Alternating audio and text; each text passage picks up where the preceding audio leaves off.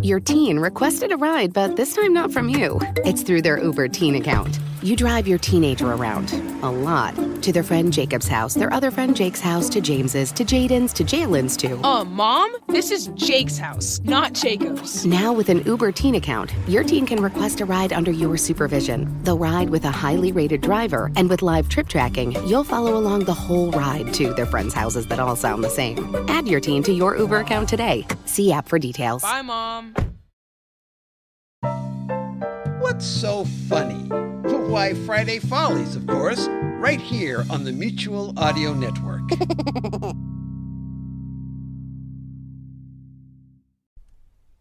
The following audio drama is rated G for general audience. Hello and welcome to Bells in the Batfry, episode 309.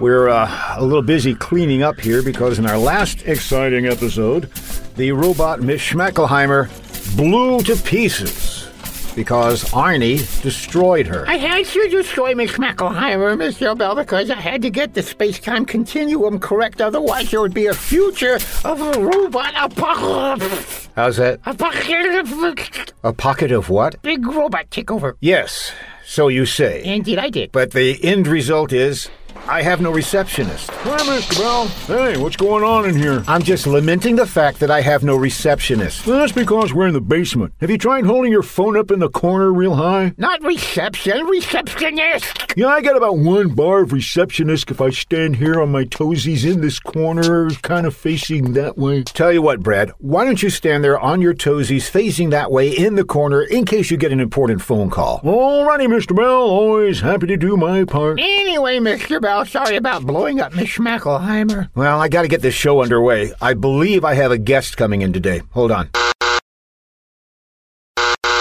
Uh, Mr. Bell, what are you doing? I'm buzzing the front desk to see if my guest has arrived. Uh-huh.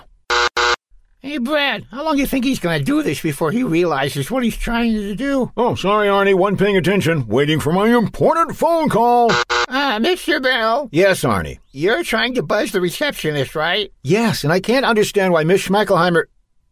Oh, I think we need to make getting a new receptionist a top priority. yeah, you may be right. Do you have any ideas? No, not off the top of my head, but maybe Brad does. Brad, do you have any ideas? Huh? What? Sorry. Waiting for my phone call. Oh, for crying out loud. Oops, there's my phone. Gotta catch this. Yellow. Brad, do you have any good ideas on how to get a good receptionist? Well, standing on my toesies like this in the corner seems to work. Brad, Huh, kind of sounds like you're in the same room with me. I'm talking about a person who can sit at the front desk and answer the phone and welcome guests. Welcome, who, what there? Someone to replace the Miss Schmacklehiemer robot. Oh, well, I think we ought to hire somebody who comes in for just a little while. That way we can see if they work out. Oh, like a chimp? Yeah, we shouldn't hire them if they have a fever. No, no, it's temp, a temporary worker. Where would we find a temporary worker? From a temp agency. There's such a thing? Oh, yes, it's a very lucrative business. Then I have the perfect solution. The Brad Motworth Temp, Agency. I should have seen that coming. Dozens did. So, Brad, you think you can find us some good temps? I guarantee I can get you good temps, Mr. Bell, or double your money paid to me. All right, Brad, I'll give you a chance. Send me some temps. I'll get right on it, Mr. Bell. Okay, Arnie, we're done. You can hang up now. I hung up about a minute ago. Wow, this is good reception. Attention! Would you like to be part of the exciting, thrilling, wild, and crazy world of podcasting? Or would you like to be a part of Bells in the Batfry? If it's the latter, here's your chance.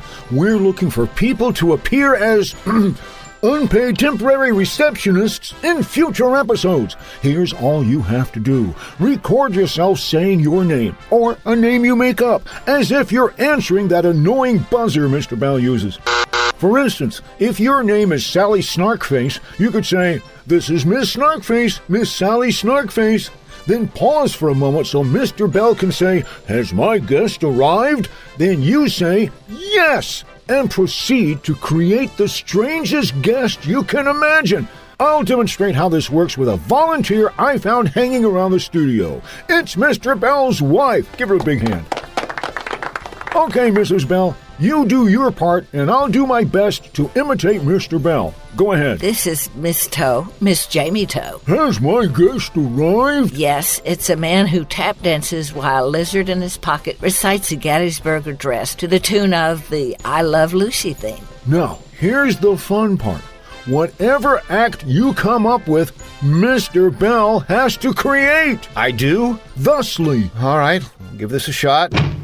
Welcome to Bells of the Batfry, sir, and your name is? Fizzard, Farley Fizzard. I'm Fizzard the Lizard Wizard. So you have a lizard with you. Yes, I found this lizard in a blizzard and discovered he could talk. And what, pray tell, is the name of Mr. Fizzard's blizzard lizard? Bob. Well, of course, and I understand you have a bit of an act that you do. Yes, I will be tap dancing while Bob, The blizzard lizard. yes, will recite the Gettysburg Address. All to the tune of the I Love Lucy theme song. Yes, that's what makes our act unique. Compared to all the other tap dancing people with talking lizard acts. You got it. Lucky us. Okay, proceed. Are you ready to recite, Bob? No, not yet. I'm not feeling it. Give me a second. Bob needs to prepare. Um, He needs to find his center. um, Wouldn't that be somewhere between his front legs and his back legs? um, Not if you take into account his rather long tail. um, That is a long tail. Yeah, it gets a little too long sometimes, so I have to trim it a bit. You trim his tail? Yes, with lizard scissors. are you guys done? I'm ready to go now. Yes, yes, here we go. Four score and seven years ago, our fathers brought forth on this continent a new nation conceived in liberty and dedicated to the proposition that all men are created equal. Um. Now that's entertainment. isn't that great? Now you may ask, how can I record my part for this fantastic unpaid opportunity?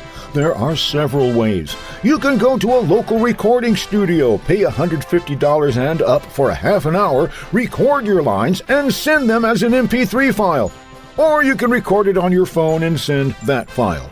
And don't worry if you make mistakes. Mr. Bell can edit those out and make you sound nice and smooth and professional.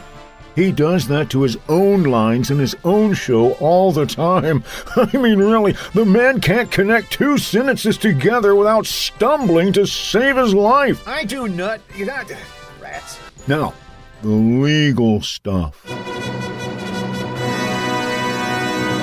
By sending your voice to John Bell and John Bell Creative LLC, you are giving permission for John Bell and or John Bell Creative LLC to use your recorded voice in the podcast known as Bells in the Batfry, free of charge, without compensation, no money for you, pal, from this time forward until the end of the podcast run or till the sun explodes, whichever comes first. There is no guarantee that your submission will be used, although there's a real good chance it will, because we're not expecting more than two or three people to actually try this. Oh, and if you're listening to this like a long time after March of 2023, this is blown over long ago. Thank you, and we're looking forward to your unpaid contribution. And now all we have to do, Mr. Bell, is wait for those emails coming in with people wanting to be the new temporary receptionist. I appreciate you doing this favor for me, Brad. Favor? F- f- f- Now you've done it, Mr. Bell. favor? F- f- That's a word Brad does not like. He's hyperventilating. Quick, put a bag over his face. Well, that's always a good idea, Mr. Bell. Not for aesthetic reasons, to stop his hyperventilating. Oh, okay, let's give it a try. He's still hyperventilating. Maybe we could put something else over his head. Ten, ten, ten, ten, cans? ten dollar bills. Should have known. All right, all right, all right. Here's a $10 bill. Not enough.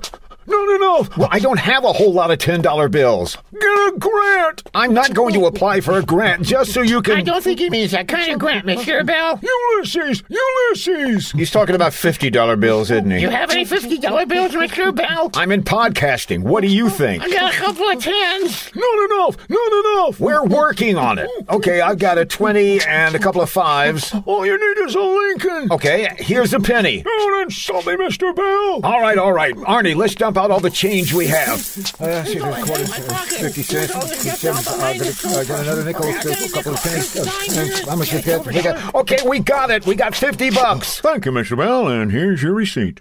You know that was just a loan. No, Mr. Bell, that's because I provided you the first person to be your receptionist. But you just started it. We haven't had any people be the receptionist yet. Tut, tut, tut, Mr. Bell. I seem to recall your wife being involved. But you just used her as an example. was she or was she not on the show as your receptionist? Well, she, I mean, she was as a demonst. You, but I, you, it, they. I think he's got you, Mr. Bell. You've been listening to Bells in the Batfry, episode 309, copyright 2023 by John Bell Creative LLC. We hope to see you and hear you on our next episode. And when you need a tip, be sure to contact the Brad Motworth Tip Agent. Put a cork in it, Brad. Spoil sport.